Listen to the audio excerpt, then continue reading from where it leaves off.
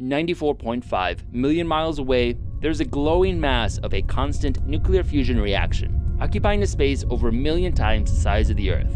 From it emits potentially deadly radiation across the electromagnetic spectrum. Only some of it reaches us here on Earth. One small spectrum of it is invisible to the human eye unless you have special equipment, can penetrate the skin and potentially damage the building blocks of our life, our DNA, resulting in the development of potentially lethal cancers.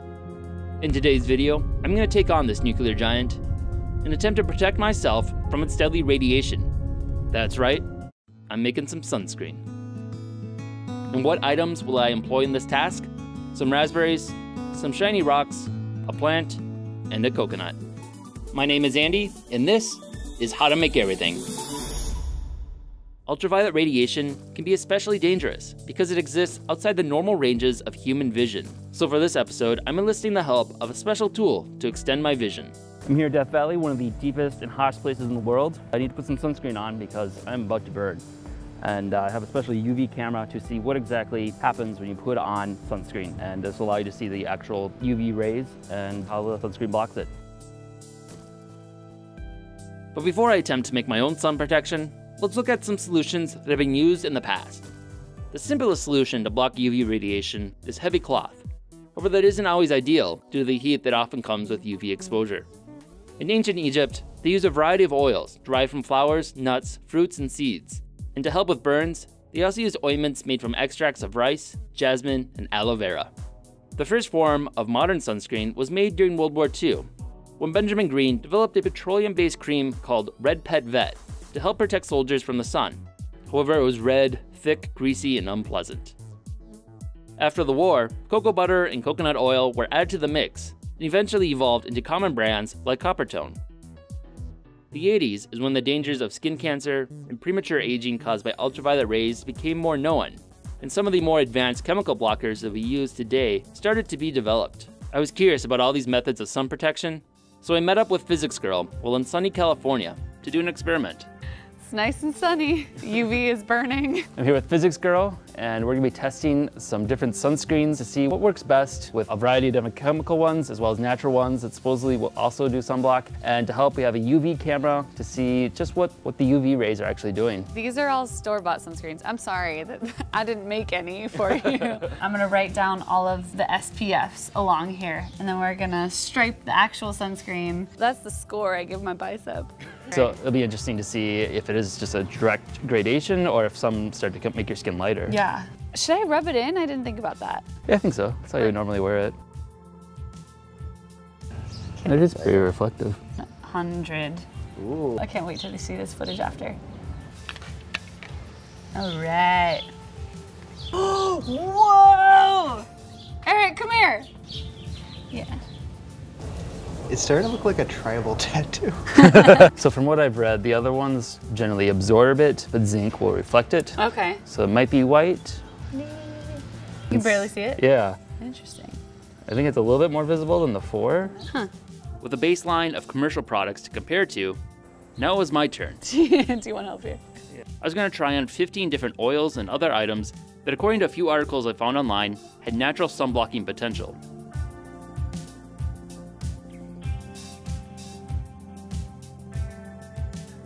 Gonna taste delicious. I know. nice and toasty. Ooh. I've never put so many foods on another human. Green tea? Yeah. Oh, this looks gross. Nice. All right. there you are, sir. Does that show up any better? No, Really?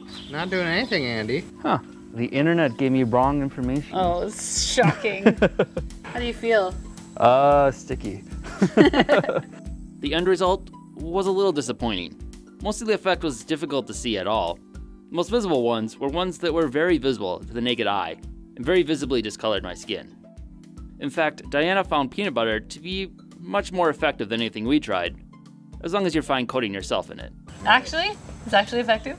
Very. That's so great. Wow, peanut butter works pretty well.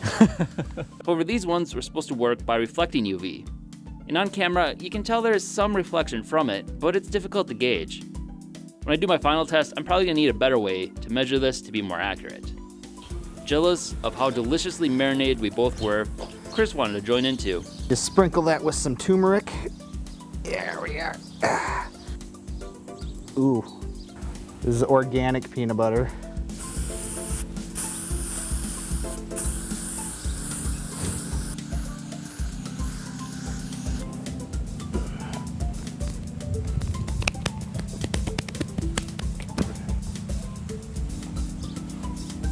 Ah, yeah. May I have my some uh, paper towels? Check out Dianna's video, where she goes more in depth into the chemicals used in modern sunscreen and their effectiveness, and if they pose any potential health risks. Derek of Veritasium also joined her in her video, and he also has his own video about seeing the world through a UV camera. Then we had a little fun with the UV camera. Good.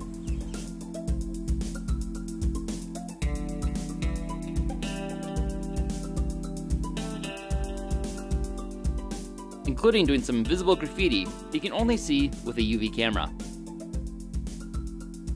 You'll see that truck in a later video we also shot while there for another experiment we did on making a camera obscura. But more on that later. I was able to learn a few things from our experiment. First, modern chemical sunscreens are going to be hard to compete with. And unfortunately, trying to recreate them is a bit out of reach. For the more natural options, zinc oxide held a lot of promise. While some of the other oils had some potential, it was difficult to assess using the UV camera alone. So I'm going to try a combination of a few of these and see if I can get something that works halfway decent. Let's get started with some coconuts. Mostly to act as the base for my cream, I'm going to extract some coconut oil. However, it also potentially has some sunblock potential. While in the tropics earlier this year, I snagged a couple coconuts on the side of the road. Oh no, my juice smells like coconut. Unfortunately, Customs wasn't too keen at me trying to sneak in some fairly large coconuts, so I had to substitute them for some store-bought ones back home. The first step is to puncture and then drain them. There's a lot. Oh, that's blood. Somehow, in even the simplest tasks, I managed to cut myself and then get blood everywhere. Then I bake them in the oven to soften them up and crack them open. Whew. Boom coconut. Next, scoop out the meat and grind them up. Which ended up killing a blender in the process. That is a tough grind. Then I strained out the solids through a cheesecloth and squeezed out all the liquid juice. Letting that sit and separate for several hours, the coconut water will separate from the coconut oil, which forms a solid layer on the surface. Next, I collected that and then cooked it for a little over an hour Alright, now we're getting chunks. After straining out all the solid burnt pieces, the remaining liquid should be just the coconut oil. Ow, it's hot. Hot oil. Who would have thought? After cooling overnight, I see a nice solid coconut oil has formed. Now I just need to process the rest of the broth for a usable amount. Of the oils, raspberry seed oil is supposedly one of the best, so I'm to try and source that myself. First step is separating the seeds from the berries.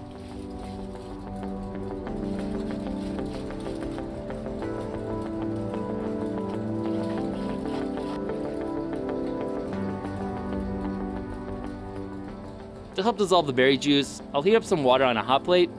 Hopefully the one covered in beeswax before still works. Whoa, nope, it does not work.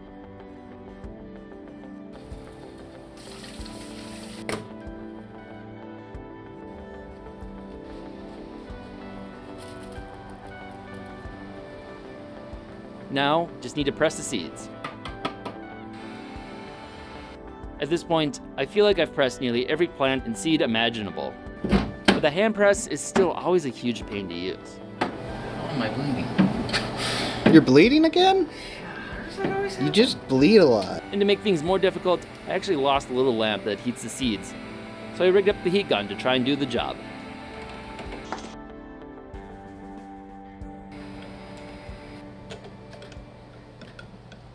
Next, potentially the most important ingredient, the zinc oxide. As an ore, it can often be found with many other minerals, such as often silver, and I've managed to collect a few different ores of it so far in my journeys. I have some spherites, Sphalerite. Sphalerite. Sphalerite. Sphalerite. I've been able to find a few different zinc ores. We have some sphalerite, grind up some of these rocks, and attempt to extract the zinc oxide and make some sunscreen.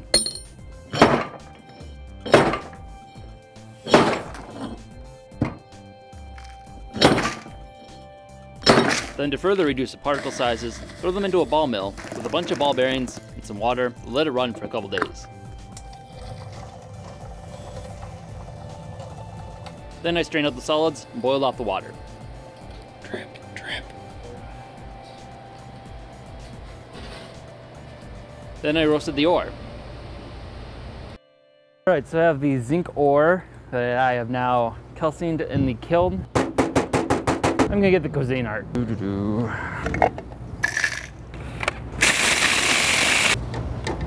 So I have the roasted zinc ore. Just gonna add it to some acid here and then neutralize it with a base right here. Should be left with zinc hydroxide. So then roast and get zinc oxide.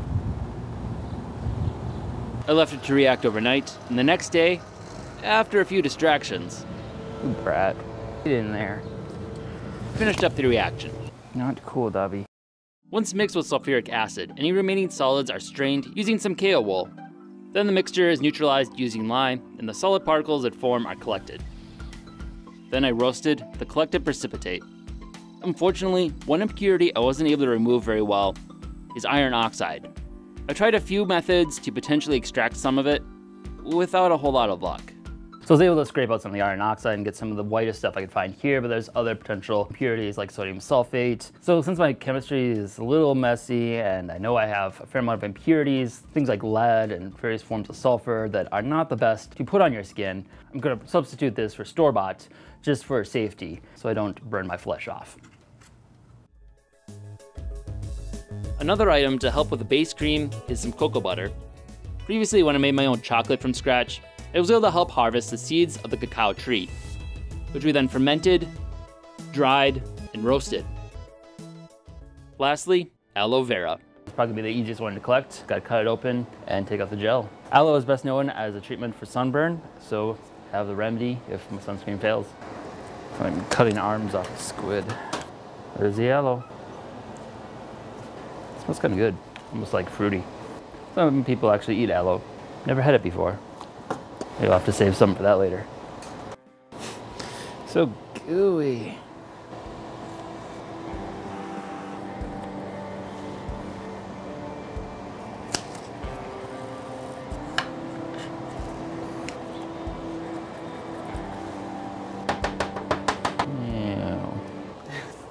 All right, so I have all the ingredients now. I have aloe, raspberry seed oil. I did make a substitution with the zinc because there's some unknown impurities in the stuff I extracted and I'm not super comfortable putting that on my skin. So I'm using some store-bought zinc oxide just for safety. And then on the hot plate, we have cocoa butter and coconut oil. I guarantee this is gonna offer some protection. The question is how much?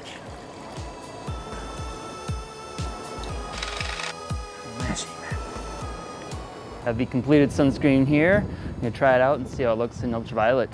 Ooh. So I'm a little skeptical how well it's gonna show up on the actual UV camera because this is all natural items that tend to be more reflective than actual absorptive. Let's put it on, see how effective this actually is.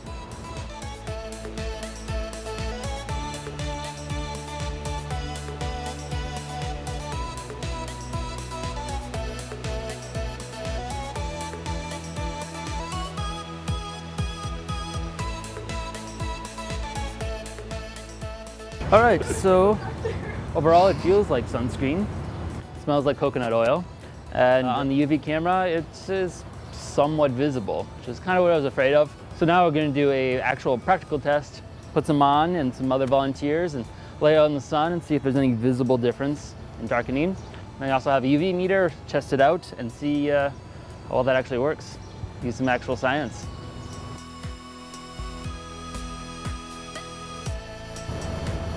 It feels a lot more like sunscreen now that I'm rubbing it in. I feel like I'm starting to get kind of grayed out by it. No discoloration on me. I think it's pretty good. Also, I'm really digging the smell of it. I don't look any whiter than I already am. I guess we won't really know until we see how it happens afterwards, like in the sun. Next, I'm going to use a meter to try and measure how effective the sunscreen is and what SPF it actually is. But first, why is UV radiation so dangerous? There are three types of ultraviolet radiation based on their wavelength UVA, UVB, and UVC.